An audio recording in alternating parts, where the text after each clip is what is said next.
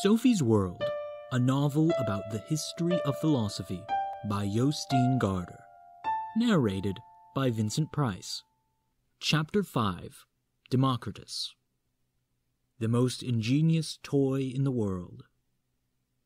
Sophie put all the typed pages from the unknown philosopher back into the cookie tin and put the lid on it. She crawled out of the den and stood for a while, looking across the garden. She thought about what happened yesterday. Her mother had teased her about the love letter again at breakfast this morning. She walked quickly over to the mailbox to prevent the same thing from happening today. Getting a love letter two days in a row would be doubly embarrassing.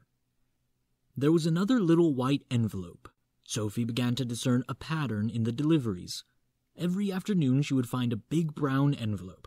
While she read the contents, the philosopher would sneak up to the mailbox with another little white envelope. So now Sophie would be able to find out who he was, if it was a he. She had a good view of the mailbox from her room. If she stood at the window, she would see the mysterious philosopher. White envelopes don't just appear out of thin air. Sophie decided to keep a careful watch the following day. Tomorrow was Friday, and she would have the whole weekend ahead of her. She went up to her room and opened the envelope. There was only one question today but it was even dumber than the previous three. Why is Lego the most ingenious toy in the world? For a start, Sophie was not at all sure she agreed that it was. It was years since she had played with the little plastic blocks. Moreover, she could not for the life of her see what Lego could possibly have to do with philosophy. But she was a dutiful student. Rummaging on the top shelf of her closet, she found a bag full of Lego blocks of all shapes and sizes. For the first time in ages, she began to build with them. As she worked, some ideas began to occur to her about the blocks. They are easy to assemble, she thought. Even though they are all different, they all fit together. They are also unbreakable. She couldn't even remember having seen a broken Lego block. All her blocks looked as bright and new as the day they were bought many years ago. The best thing about them was that with Lego, she could construct any kind of object. And then she could separate the blocks and construct something new. What more could one ask of a toy? Sophie decided that Lego really could be called the most ingenious toy in the world, but what it had to do with philosophy was beyond her. She had nearly finished constructing a big doll's house. Much as she hated to admit it, she hadn't had as much fun in ages. Why did people quit playing when they grew up? When her mother got home and saw what Sophie had been doing, she blurted out, What fun! I'm so glad you're not too grown up to play. I'm not playing, Sophie retorted indignantly. I'm doing a very complicated philosophical experiment. Her mother sighed deeply. She was probably thinking about the white rabbit in the top hat. When Sophie got home from school the following day, there were several more pages for her in a big brown envelope. She took them upstairs to her room. She could not wait to read them, but she had to keep her eye on the mailbox at the same time. The Atom Theory. Here I am again, Sophie. Today you are going to hear about the last of the great natural philosophers. His name is Democritus, circa 460 to 370 BC, and he was from the little town of Abdera on the northern Aegean coast. If you are able to answer the question about Lego blocks without difficulty, you should have no problem understanding what this philosopher's project was. Democritus agreed with his predecessors that transformations in nature could not be due to the fact that anything actually changed. He therefore assumed that everything was built up of tiny invisible blocks, each of which was eternal and immutable. Democritus called these smallest units atoms. The word atom means uncuttable, for Democritus, it was all important to establish that the constituent parts that everything else was composed of could not be divided indefinitely into smaller parts. If this were possible, they could not be used as blocks. If atoms could internally be broken down into even smaller parts, nature would begin to dissolve like constantly diluted soup. Moreover, nature's blocks had to be eternal, because nothing can come from nothing. In this, he agreed with Parmenides and the Eleatics. Also, he believed that all atoms were firm and solid, but they could not all be the same. If all atoms were identical, there would still be no satisfactory explanation of how they could combine to form everything from poppies and olive trees to goat skin and human hair. Democritus believed that nature consisted of an unlimited number and variety of atoms. Some were round and smooth, others were irregular and jagged, and precisely because they were so different, they could join together into all kinds of different bodies.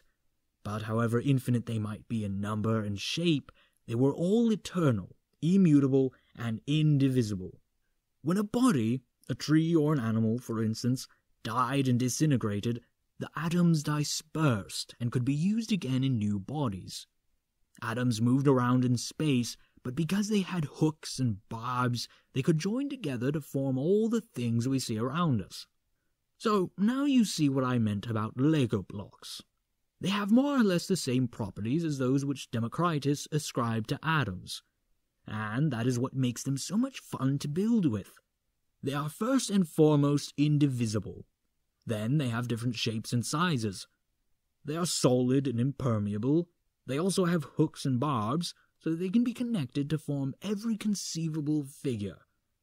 These connections can later be broken again so that new figures can be constructed from the same blocks.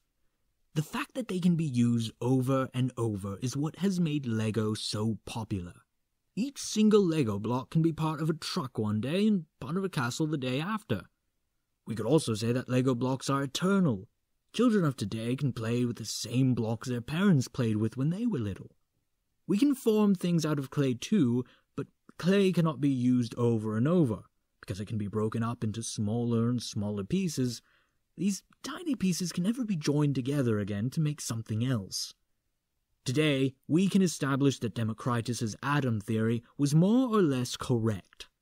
Nature really is built up of different atoms that join and separate again. A hydrogen atom in a cell at the end of my nose was once part of an elephant's trunk. A carbon atom in my cardiac muscle was once in the tail of a dinosaur. In our own time, however, scientists have discovered that atoms can be broken into smaller elemental particles. We call these elemental particles protons, neutrons, and electrons. These will possibly someday be broken into even lesser particles. But physicists agree that somewhere along the line there has to be a limit. There has to be a minimal part of which nature consists. Democritus did not have access to modern electronic apparatus, his only proper equipment was his mind. But reason left him no real choice. Once it is accepted that nothing can change, that nothing can come out of nothing, and that nothing is ever lost, then nature must consist of infinitesimal blocks that can join and separate again. Democritus did not believe in any force or soul that could intervene in natural processes. The only things that existed, he believed, were atoms and the void. Since he believed in nothing but material things, we call him a materialist. According to Democritus, there is no conscious design in the movement of atoms. In nature, everything happens quite mechanically. This does not mean that everything happens randomly, for everything obeys the inevitable laws of necessity. Everything that happens has a natural cause that is inherent in the thing itself. Democritus once said that he would rather discover a new cause of nature than be the king of Persia. The atom theory also explains our sense perception, thought Democritus. When we sense something, it is due to the movement of atoms in space. When I see the moon, it is because moon atoms penetrate my eye. But what about the soul, then? Surely that could not consist of atoms or material things. Indeed, it could. Democritus believed that the soul was made up of special round, smooth soul atoms. When a human being died, the soul atoms flew in all directions and could then become part of a new soul formation. This meant that human beings had no immortal soul, another belief that many people share today. They believe, like Democritus, that soul is connected with brain, and that we cannot have any form of consciousness once the brain disintegrates. Democritus's atom theory marked the end of Greek natural philosophy for the time being. He agreed with Heraclitus that everything in nature flowed, since forms come and go, but behind everything that flowed, there were some eternal and immutable things that did not flow. Democritus called them atoms. During her reading, Sophie glanced out of the window several times to see whether her mysterious correspondent had turned up at the mailbox. Now she just sat staring down the road, thinking about what she had read. She felt that Democritus's ideas had been so simple and yet so ingenious. He had discovered the real solution to the problem of basic substance and transformation. This problem had been so complicated that philosophers had gone around puzzling over it for generations, and in the end, Democritus had solved it on his own by using his common sense. Sophie could hardly help smiling. It had to be true that nature was built up of small parts that never changed. At the same time, Heraclitus was obviously right in thinking that all forms in nature flow, because everybody dies. Animals die, even a mountain range slowly disintegrates. The point was that the mountain range is made up of tiny, indivisible parts that never break up. At the same time, Democritus had raised new questions. For example, he had said that everything happened mechanically. He did not accept that there was any spiritual force in life. Unlike Empedocles and Anaxagoras, Democritus also believed that man had no immortal soul. Could she be sure of that? She didn't know. But then, she had only just begun the philosophy course. Thank you for listening to Chapter 5 of Sophie's World, Democritus. If you enjoyed it, please consider subscribing to hear more from this story, as well as other projects I may be working on in the future. Thank you.